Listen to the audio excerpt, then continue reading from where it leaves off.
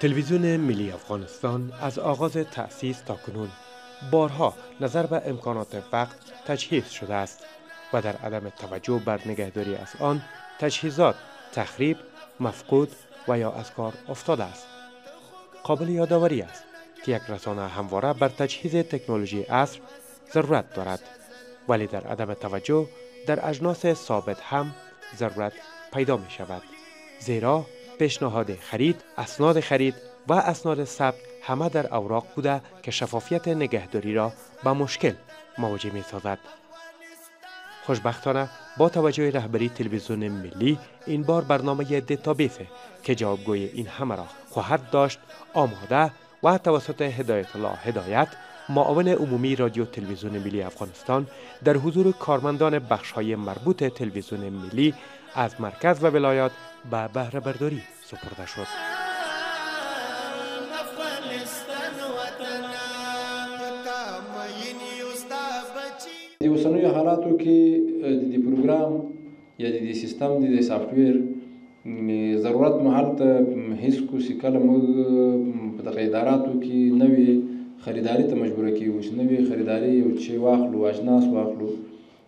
یا جنې ضرورتونه له مختلفو اداراتو نه راځي نو دلته موږ ته نه معلومېدل مثلا موږ په هلمند کې څو کیمرې لرو موږ په هلمند کې څو کمپیوټرونه لرو موږ دلته په مرکز کې څومره لایټونه لرو موږ په مرکز کې څومره مایکونه لرو یا مثلا موږ په مرکز کې څومره میزونه او چوکۍ لرو دا پښتنه کول یا بیا اداري بخش ته د معتمدینو له جملې دغه حساب کول دا به بیا یو میاس وخت به یې غوښت هغه سافټویر کې بیخي ډېرې ځانګړنې راخیستل شوې دي مثلا نن یو جنس موږ را اخلو د ادارې ته دا نوی یو قلم راځي دا قلم عکس به اخیستل کیږي د دې قلم هغه ورسره ازمل اسناد چې کوم اسناد باندې اخیستل شوی ده او د دې قلم هغه سریال نمبر ماډل نمبر دا موجود دي د دې قلم ځانګړی قیمت په موجود دي او دغه قلم په کومه تاویلخانه کې چیرته ایښودل شوی ده دغه قلم د چا په جمع کې قید ده او دغه قلم چې راواخیستل شو لومړی اوس چا ته توزیع شوی ده دا به ټول په هماغه سافټویر کې ښودله کېږي. زمانی که یک کارمند از وظیفه اش برکنار و یا شخص خودش اداره را ترک می کند اجناسی که در قید او می باشد در عدم دیتابیس تثبیت آن زمانگیر حتی امکان پذیر نمی باشد ولی با راه اندازی این دیتابیس کوم کارمندان چې دلته موږ او تاسو سره په دې اداراتو کې سته د هغو کارمندانو سره چې به کوم جنس ثبت وو کمپیوټر به ورسره وو د هغه سره به کیمره وه د هغه سره به مایک وو هارد ډیسک به ورسره وو د هغه سره به نور وسایل وو که چیرته به مغه کاغذي اسناد راو پلټل نو هغه جنس به معلومېده او کنه هغه جنس به نو معلوم اوس په دې برخه کې مشخصا منابع بشري کله چې هغه یو څوک رخصتېږي له هغه چې یو څوک کار اخیستل کېږي یا څه ځین تسلیمېږي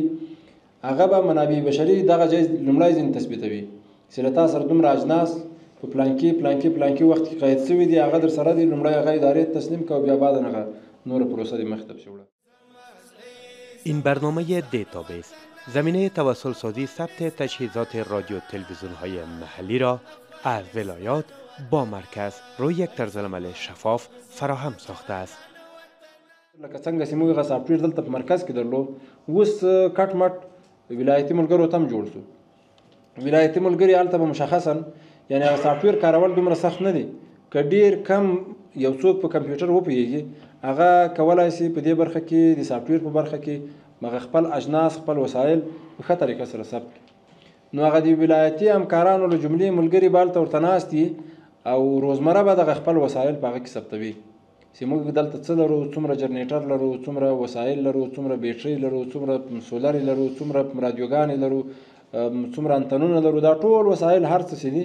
د مشخص عکس سره، سریال نمبرو سره، د مخکینیو اسنادو سره، په کوم اسناد مو دا ترلاسه کړي وو، دا له کومه راغلي وو، له چا سره دي، اوس د چا په جم کې قید دي، په کوم ګدام کې ایښي دي، په کومه انوارۍ کې ایښي دي، دا شیان به ټول معلوم وي، هلته په هغه کې به په دې سافټویر کې به ثبتېږي. ته موږ په مرکز کې خریداري کوو موږ ته به دا معلومه وي چې موږ په پکتیکا ولایت کې دغه وسایل کم بوت لرو دا په پکتیکا کې نشته موږ په پنجشیر ولایت کې دغه دغه وسایل کم بوت لرو دا وسایل الته ځکه خو موږ ته به دلته په یو ځای کې په هغه ډیټابیس کې هغه به ټول معلوم وي حتی موږ ته به دا معلوم وي په زابل ولایت کې څومره د څو افغانیو په اندازه باندې وسایل لرو ولې پکتیا کې بیا د څومره افغانیو په اندازه باندې وسایل لرو دا جای هغه قیمتونه بله هغه جای چې پکې هلته پکې مشخص یي معلوم به برنامه دیتابیس طرح شده از امنیت خاص برخوردار می باشد د دې په خاطر باندې چې موږ له بیت المال ښه ساتنه وکړو دغه د بیت المال اجناس د بیت المال زیات مصرف مخنیوی وکړو نو په دې سافټویر باندې مو کار کړی ده خدای پاک دې وکړي چې تاسو له دې سافټویر نه ښه استفاده وکړئ وکړئ خوشبختانه رادیو تلویزیون ملی افغانستان برنامه دیتابیس دیگری را روی دست دارد که در آینده نزدیک به بهرهبرداری سپرده خواهد شد این دیتابیس که تمام برنامه سازان تلویزیون ملی و دپارتمنت های خبری را قادر بر این میسازد تا از روزهای مخصوص افغانستان و جهان آگاه باشد و در انگام برنامه سازی از آن به درستی استفاده کند تا بتواند برنامه طرح شده خود را مطابق به تاریخ روز ساخته و به نشر بسپارد. د سافټویر تر څنګ آی ټي د امریت نه بیا مننه کوم. کلیزې په نوم باندې اپلایکیشن چې هغه موږ ورته طرحه کړی وو او دوی په باندې کار کړی الحمدالله کامیاب شوي یو هغه اپلایکیشن هم نهایي شوی ده دغه شل کلن جهاد کې په نن شلم تاریخ په همدې میاشت کې کومې پېښې شوې وې؟ هغه لويې پېښې چې هغه کومې تکرار شوې وې یا کوم څه شوي وو د څو کلونو هغه به په همدې تاریخ کې لاندې ذکر کېږي بل موږ او تاسو به دې کلیزه کې د قبلې معلومولو لپاره حتی بغیر انټرنیټ د جی پی ایس په توسط باندې که موبایل را سره یې هغه به موږ او تاسو ته قبله ښیي د حنفي فقه په رڼا کې به موږ او تاسو ته د لمنځو وختونه ښیي هم چنان دغه کلیزې کې به په دریو ژبو باندې پښتو او دریو انګلیسي باندې هغه چې څرنګه را خلاصوي دغه کوم معلومات کوم څه چې ثبت شوي دي په همغو ژبو باندې به درته راوړي همچنان ورځنی حدیث شریف دغسې د اذکارو لپاره یو اپشن دغسې د د خپلو یاداشتونو لپاره هغه خپل یاداشتونه د ریمایندر په توسط باندې یا بیرته تاسو ته د خبرتیا درکولو په خاطر باندې هغه یو اپشن پکې جای په جای سوی ده د خپلو روزمره مصارفاتو لپاره یو کتابچه پکې جای په جای سوی ده نو دغه اپلیکیشن هم ان شاء الله تعالی په دې لنډ وخت کې به ملګری اعلان وکړي او هغه هم لانچ شي الله مو جوړ لره خوشاله اوسئ کارمندان بخش تدارکات رادیو تلویزیون ملی چنین اظهار نظری دارند